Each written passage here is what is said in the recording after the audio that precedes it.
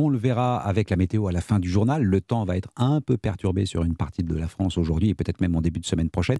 Cela ne devrait pas décourager les amateurs de randonnée. La discipline fait de plus en plus d'adeptes et les équipementiers ont de quoi sourire. Les ventes d'école. Mode des camps. À la Fédération française de randonnée pédestre, on a le sourire. Depuis un an, les ventes de topo-guides ont bondi de 40%. Un phénomène qu'observe également Philippe Aurin, directeur des guides vers Michelin, si bien que certains ont dû être réédités en urgence. Avec le Covid, on, a dû revoir complètement euh, nos tirages. Périgord, euh, l'Auvergne, la Franche-Comté, le Lot ont dû être réimprimés. Autre signe de l'intérêt croissant des Français pour la randonnée, les ventes d'équipements Décathlon observent une hausse de 15% de ces ventes de chaussures de randonnée. Même phénomène au vieux campeur, explique son directeur général, Émeric de Rorté. Tout ce qui est vente de chaussures, de, de sacs de couchage, de tentes sont en forte progression. Le plus spectaculaire, c'est effectivement les cartes IGN.